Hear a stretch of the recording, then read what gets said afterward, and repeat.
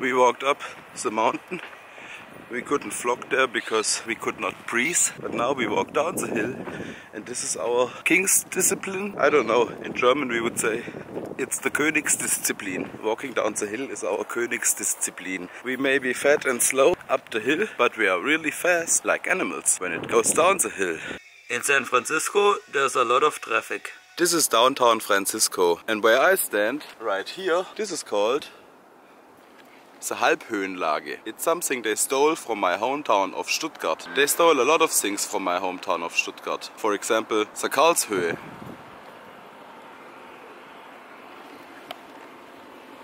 What's going on?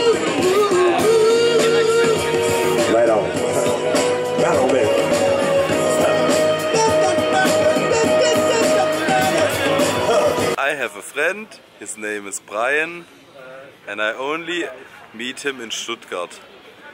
But today I met him in San Francisco. Hey, Where are you from, Brian? I'm from America.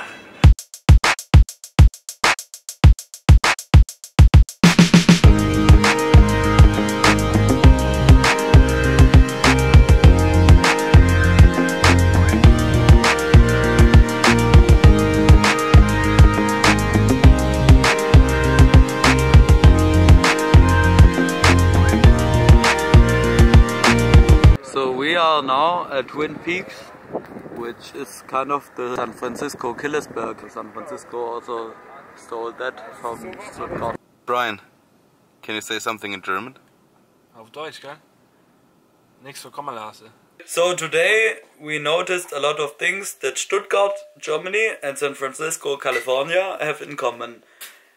Another thing is both are really expensive. San Francisco is really expensive. You get nothing for free. That's sad. If you wanna be happy and get something for free, please subscribe to our Dynamic Trio Vlogs YouTube channel. Thanks!